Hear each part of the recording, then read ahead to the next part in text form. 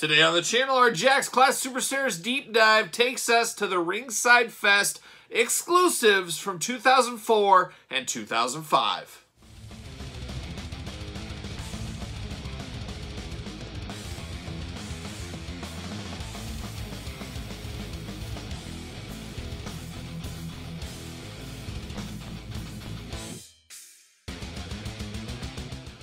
Welcome everyone, Kyle here, and welcome back to the channel for our continuing deep dive into the Jakks Classic Superstars collection every single Tuesday here on the channel for over a year now. We've had a different video on the Jakks Class Superstars series. You too can be an expert on the Jakks Class Superstars. Make sure you like, comment, and subscribe to the channel as you do not want to miss one of these videos. And we've done a lot of videos already. The single packs, the two packs, the three packs, a lot of exclusives, and that's where we're at today. We're working our way through various exclusives, and today we're doing the Ringside Fest exclusives from 2004 and 2005. Rowdy Roddy Piper and Yokozuna. And we're going to do it like we always do these Jakks videos. We're going to take a look at the figure. We're going to talk about it, kind of the headspace and what was going on around that time and see where it goes from there. We got a little bit of a controversial one. A little controversial uh, with the Yokozuna, and we'll get to him second. As we're going to start with 2004. Ah, yes, 2004.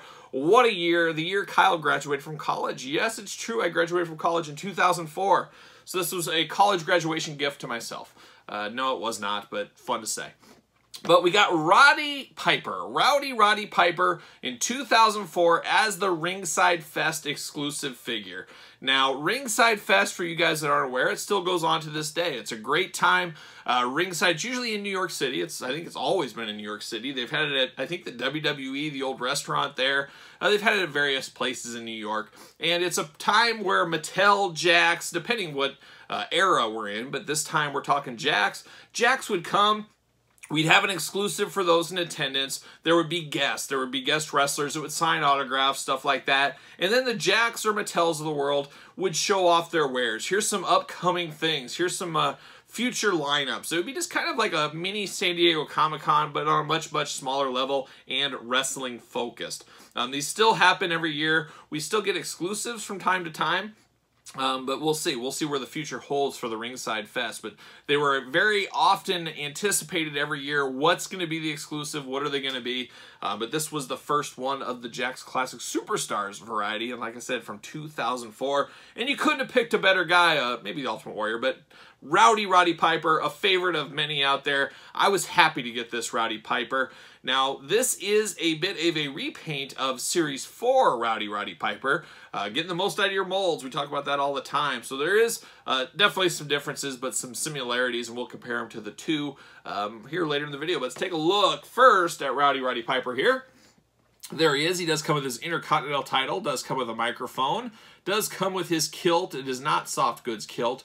Uh, the biggest difference here we have is the black hot rod shirt, which we've got in the past a few times. Uh, we've seen that throughout the years. Uh, I always kind of think of that as more WCW, as I remember him wearing a lot more black shirts in WCW. Um, maybe not with the hot rod insignia on it, but definitely black shirts in his WCW time frame. Uh, but I think he did briefly wear this shirt in the WWF, if I'm correct. Uh, somebody can correct me if I'm wrong on that one. Uh, but very similar to the Rowdy Roddy Piper we got in Classic Series 4, like I said earlier. We do get the little stickers down there. We get the little red circular Ringside Fest 2004 exclusive. And then we get one of 1,800. Yes, 1,800. Now, this one did not uh, command a very high dollar figure for a lot of years. It was fairly easy to get. I don't know if it still is. I don't really keep up with uh, the pricing on these anymore because I have them all, so I don't need to be looking for them. But uh, this one was fairly easy to get for a lot of years compared to the Toy Fair exclusive Rowdy Roddy Piper with the soft goods, leather jacket, all that kind of stuff. We'll get to that one on the channel eventually, so make sure you're uh, subscribed with the notification bells. We'll get to that one eventually, like I said. Uh, but only 1,800 of these in existence. Uh, I wouldn't mind to have a loose one of these in my collection one day, but uh, is what it is. But 1,800 of them. Got Rowdy Roddy Piper on the side, like we've seen before. A little glamour shot. Now, the glamour shot is the same glamour shot as we saw in Series 4. So a lot of reuse, a lot of reuse of the total packaging outside of the stickers, actually. Uh, you can see the rest of the Series 4 lineup, JYD, Hillbilly Jim, Tito Santana, Hacksaw Jim Duggan, Yokozuna, and of course Roddy Piper. Uh, go back on the channel, search back through the videos. We did a deep dive of that entire set, so make sure you find that video if you missed it. We got the blurb up top. We got the big glamour shot of Roddy in his white shirt. We got UPC's warnings, all that fun stuff down below. Let's see what it says about the old hot rod, Rowdy Roddy Piper. Debuted 1972, 231 pounds, 6 foot 1, finishing move, the sleeper. Uh, titles WWE Intercontinental Champion, United States Champion. And his favorite quote, it's time to pay the Piper. Boy, it sure is. It sure is. Let me grab this Piper here. Like I said, a lot of reuse. So this is the Piper that we had in the past. You can see them both right there. Both have the Intercontinental title. Both have uh, the microphone there. Obviously, stickers different with this one. Different kilt, different colored t-shirt, but the exact same head sculpt. And then after that, the packaging is identical. The identical packaging. Once again, getting the most out of your molds, getting all that reuse out there. Uh, that's the way you got to do it in the old. It is the toy business, after all. But a cool exclusive and a cool venture into the Ringside Fest exclusives into the Classic Superstars. Uh, we'll have, this is part one, I should say, as well. We'll do Yokozuna here, but then next week we'll have part two with two of the heaviest hitters in the Classic Superstars packs of all time. That should be a really, really good video. Uh, they really kind of primed the pump a little bit. We got a little bit of the salad, we got a little bit of an appetizer here, and then we got the main course and dessert coming next week uh, two very sought after two packs. So we'll get to those, like I said, next week. But now we got to go to a bit of a controversial one here. 2005 Ringside Fest. Now, this is one of those ones, some people say it's Classic Superstars, some people say it is not. I'm covering it as part of this video because it does fit. The other two are Classic Superstars. Piper, definitely Classic Superstars. This one was 2005, kind of in the middle. Not technically Classic Superstars. We do not have the Classic Superstar insignia on it. Um, I don't know if I count this or not. I did pick this up because it's kind of in the middle there. It's a lot like that Extreme Superstars 2-pack, that Kmart exclusive Terry Funk Mick Foley. Doesn't say Classic Superstars on there, but a lot of people count it as that. This one is very similar to that. We'll get into it when we explain the packaging and everything. Now, the first thing for me, a little bit of a disappointment here as I would have much preferred this style packaging. I think we all would. All of us that love the Class Superstars would love that Class Superstars packaging. Now, we've seen in the past with Hulk Hogan, Dusty Rhodes, uh, Bret Hart, Jeff Hardy 2-pack, we've had boxed Classic Superstars exclusives in the past. So this isn't necessarily a new thing when we're talking about the grand scope of things, but it was a little bit of a shock, and a, a lot of people, like I've said, uh, is this Ruthless Aggression figure? What do we count this as?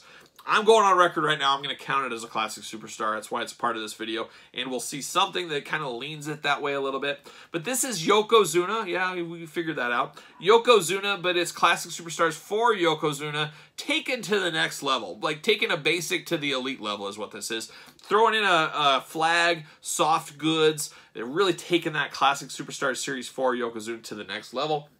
I do have that Yokozuna right here. Uh, so you can see him right there. So there it is, Yokozuna. It's the same figure, just dressed up a bit. So let's look at the packaging on this one. Now this is a heavy package, as Yokozuna is one of the bigger figures in the Class Superstars line. He's got some weight to him. Uh, so this is a heavier box. Um, but this is a box set. You got Yokozuna right there. You got the WWE logo. You got Ringside Fest sticker for 2005. Then you got Yoko in the package there with the flag behind him and the big kimono on. Uh, just a really solid Yokozuna. I would have loved to seen him in this packaging. I think it would have displayed better. It would have looked better. It would have been much fondly remembered for sure. Uh, on the side, you got Yokozuna on the box. Uh, and then the other side, same thing. You got him holding the flag up top. Just a little bit of that uh, Japanese flag uh, kind of sun there.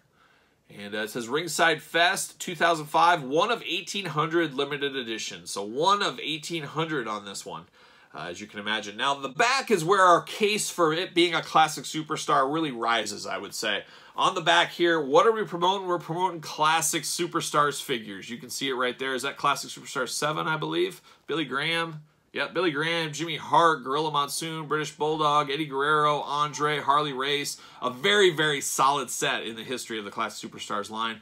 We're promoting belts, and then we're promoting the Classic Superstars ring as well. So really, it is a classic figure, Yokozuna. It is this figure dressed up. And then on the back, we're promoting Classic Superstars. To me, I feel like we have to count this as part of the Classic Superstars collection. But I would totally understand if somebody says, hey, at the end of the day, it doesn't have the Classic Superstars logo on it. It's not Classic Superstars. That makes a lot of sense to me as well. But I'm going to count it uh, for this video series and just uh, to talk about it, I think it's fair to put this in here. But a very, very strong Yokozuna. I just really wish it would have been in this style of packaging. It would have really taken this up, especially with the soft goods in here. It's just, it is truly the Jakks Class Superstars ultimate Yokozuna is what this ends up being. Um, it just wasn't made to be. But another Ringside Fest exclusive, this one for 2005. And then we have a 2006 and 2007 exclusive. Like I said, those will be in next week's video. Um, between these two, both pretty solid. I've just had my uh, gripes about this body mold on Yokozuna in the past, as you guys know. Uh, we talked about in that video. So I guess I'll, I'll lean towards the Piper as being a favorite of mine. I like Piper as a wrestler more than Yokozuna. I love the classic Superstars packaging, all that kind of stuff. But which one do you prefer of the two? Let me know in the comments. Also, let me know where you stand. We almost should run a poll. Is it classic superstars? Is it not classic superstars? I gotta think the majority of people will say it is, but tell me in the comments below, what are your thoughts on this Yokozuna? Where do you rank him? Is he a classic? Is he not a classic? So please tell me in the comments. Make sure you like this video. You made it this far. Make sure you subscribe to the channel. Hit the notification bell. Follow me on social media at SirPaul64 on Twitter, the underscore Kyle underscore Peterson on Instagram, and of course, ProWrestlingTees.com. Search Kyle Peterson. So for Yokozuna, Roddy Piper, Ringside Fest everywhere, I'm Kyle. See you guys all real soon.